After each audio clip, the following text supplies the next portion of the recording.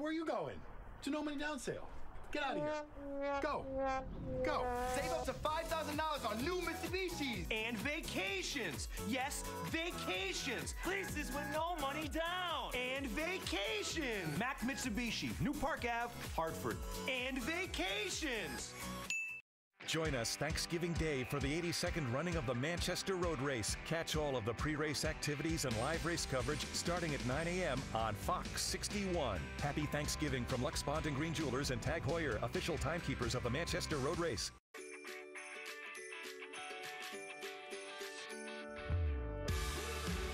Black Friday price guarantee at PC Richard & Son, gifting has never been easier. Why wait? Get Black Friday prices now, store-wide on hundreds of items. Shop in-store or online with in-store pickup. Get Black Friday prices now at PC Richard & Son. Get saving. Get gifting. Join the fun of the Manchester Road Race Thanksgiving morning in downtown Manchester, or catch all the action on Fox 61 TV or WTIC AM and 104.1 FM. And thanks to our principal sponsors, Pratt and Whitney, proud sponsor of the Manchester Road Race 35 years running. Stop and Shop, proud sponsor of the 2018 Manchester Road Race. And Eastern Connecticut Health Network, ECHN. Healthy is everything. Right now at Pilgrim, you don't have to choose between a king or a queen. You can get either one for the same low price. It's the king for a queen sale at Pilgrim Furniture and Mattress City. Wake up refreshed every day with this Beautyrest Silver king size mattress for the queen size price of just $9.99. That's a $400 savings, plus free delivery, free setup, and free removal of your old mattress. King size Beautyrest comfort for a queen size price. It's going on now, only at Pilgrim Furniture and Mattress City. Fox 61 Morning News starts now. Now at 7, a scary hostage situation in Hartford forces a closer look at how police respond to domestic violence calls. And plus, police in Fairfield say they could be making an arrest soon after the remains of multiple dogs were found in residence in a residence home. And as you are waking up this morning, we want to kick things off with a live look outside. You are looking at Hartford. Uh, that Mohegan sunrise, just beautiful out there. If you haven't been outside just yet, you may want to grab the coat. But first, we want to say good morning to you and thank you so much for choosing the Fox 61 Morning News on this Sunday morning. I'm Aisha Bowen. Right now, we begin with those wildfires in California. They continue to devastate the area. Officials are concerned about air quality across the nation. So right now, you're taking a look at some smoky air near Golden Gate Bridge. Not only is air quality in parts of California areas being considered very unhealthy, but now we're learning that this smoke is traveling east 3,000 miles east, in fact, already reaching New York City. Of course, that's our neighbor just right next to us, and meteorologist uh, Tim Levine is standing by in the Weather Center. Tim, can that smoke affect us right here in Connecticut? Well, of course, as long as that uh, as long as that smoke is mo uh, moving through the area, those with respiratory problems very well could be easily susceptible to the smoke. Now, again, just bear in mind that it has traveled a very long way, and a lot of the thickness of that smoke has dispersed. On top of that, uh, with high pressure building in, with precipitation coming in, uh, we're going to take a lot of that smoke out of the sky over the next a couple of days. So uh, again, the smoke won't be as huge a concern for our area, but on these days we get this stagnant high pressure overhead, you very well can get a lot of that smoke staying low to the ground and therefore uh, those with respiratory problems or illnesses very well could be susceptible to that smoke. Right now, temperatures still in the upper 20s across the northern part of the state. Mid 30s in the valley. We're not going to see temps warming up all that much today with a lot of cloud expected to develop throughout the afternoon and even a few afternoon flurries as well. Uh, winds out of the uh, north at about 5 to 10 miles per hour statewide. And I expect that that'll be the case throughout the day with a chance for some gustier winds later on into the afternoon. After this storm system moves through on Monday, we're going to be seeing the potential for some more accumulating snow on Wednesday very well could be problematic for travel heading into Tuesday morning. I'm forecasting the possibility of accumulating snowfall in our area. Coming up in the full forecast, we'll tell you just how much and where we'll see the big bullseyes and also uh, the big change in our temperatures coming for Thanksgiving. Aisha? Officials have now identified the man who was shot and critically wounded by a Hartford police officer on Friday. Police say a, uh, that suspect held a woman hostage at knife point during a domestic dispute. As Fox 61's Esther Castro has more information on just how dangerous domestic violence situations can be for law enforcement and everyone involved. We spoke with the Connecticut Coalition Against Domestic Violence who say that domestic violence situations are a lot more common than you may think and they can affect anyone. We just police right here right now, 422 Dodge Street, emergency. This man in my house got my own lady hostage with a knife. Hartford police officers Michael Bodner and Chris White got to the scene at a Garden Street apartment and came face to face with a Hartford man, 39 year old Dennis Lawrence. He is accused of holding a woman hostage at knife point. Officers asking him multiple times to drop the knife as heard over dispatch. Put your hands up! Put your hands up! Put your hands up! Drop the knife! Drop the knife! Drop the knife! Drop the knife! Drop the knife!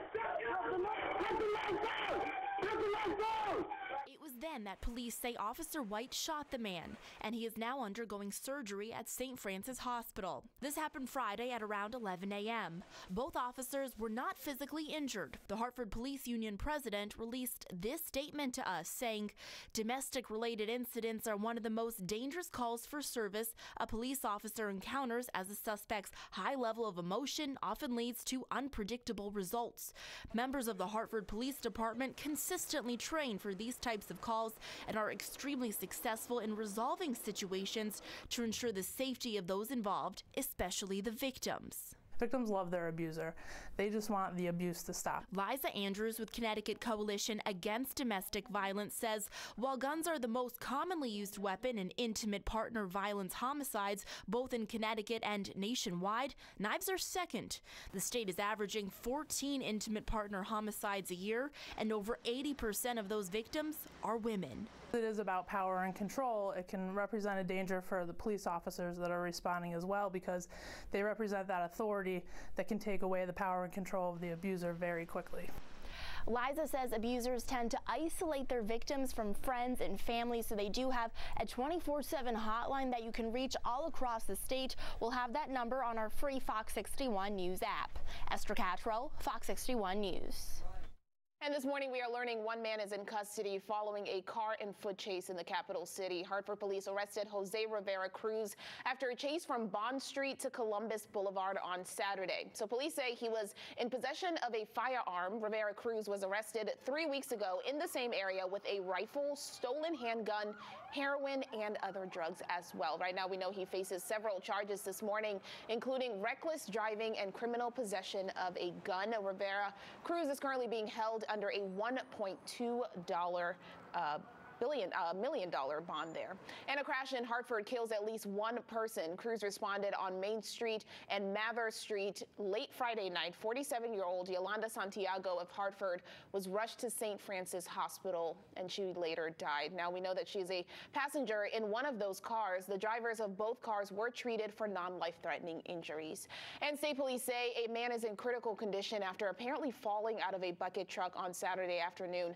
Tolland Fire and EMS responded to the incident where a 45 year old man fell from a bucket truck while conducting maintenance to an overhead canopy on Merrow Road. Now we know just before 4:30 uh, 4:30 p.m. Lifestar transported the man to Hartford Hospital where he is being treated. Witnesses of the accident are asked to contact state police. And this morning, we're learning an arrest could be coming soon in Fairfield after dead dogs were found in a woman's home. Fairfield police say they are preparing an arrest warrant right now for this home on Prince Street. Police were called to the home last week. Wednesday, after the landlord found the remains of at least five dogs. Investigators say they will not reveal the suspect's identity at this time until the arrest warrant for animal cruelty charges has officially been signed. So officials say the dog was left in crates and apparently they were uh, they appear to be abandoned. And state police investigating a serious crash in Putnam. Police say it happened Saturday afternoon in the area of Route 44 and Tucker Road. Both drivers were brought to the uh, UMass hospital for serious injuries. Police say at least one of the victims' injuries are considered life-threatening right now. Anyone who saw the crash or saw what happened is asked to contact State Police Troop D. And as we are headed into the holiday season, people are getting ready to take those annual holiday photos. And with pets, it is no different. Furry family members are invited to the West Farm Mall to take pictures with Santa this morning. Fox 61's Taylor DiCello. She is live at the mall for us this morning in Farmington for all the fun. Taylor, we saw you holding a pup earlier. Who do you have with you right now? Aisha, I told you he would be here. Santa is actually here. He made it all the way from the North Pole this morning. How was your flight over here, it Santa? It was good. It was a good flight.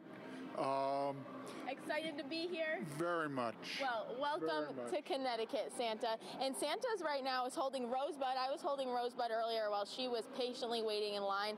And Daisy, Rosebud's sister. So you can bring your pet down to West Farms Mall from 7 to 9 this morning. It's a pre-mall opening event. And you can come have your pet's picture taken with Santa. And the photographers make sure that they, they sit nice and calm and they put smiles on their faces. It's a lot of fun. This is Daisy and Rosebud's dad, Mark.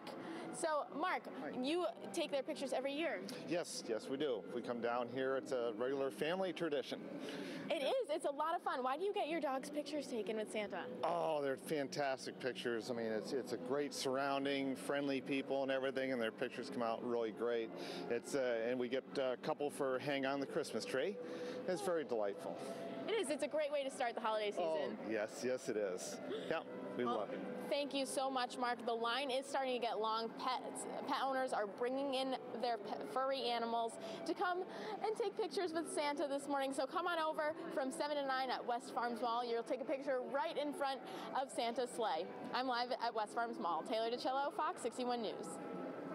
All right, Taylor, we'll check in with Taylor in just a couple of minutes or so. But right now, 710 still to come. The latest details on that migrant caravan making their way towards the U.S. border. What the president is now saying in less than five minutes. And also still to come at 8, we'll get to check in with Danbury Mayor Mark Boughton. He'll get us all caught up with what's going on in his town right now. Tim. And the core of cold air moving in for Thanksgiving. We're talking about temperatures that unfortunately are going to break records and not in the warm way. Record cold on the way. We'll talk about that coming up.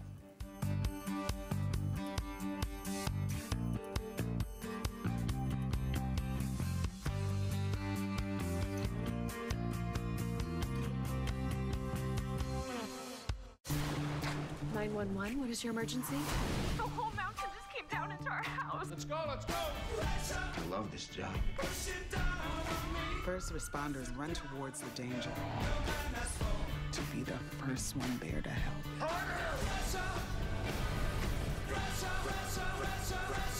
I have a suspect about to be in need of medical attention. Only two episodes left of 911 this fall. Don't miss an all new episode Monday on Fox.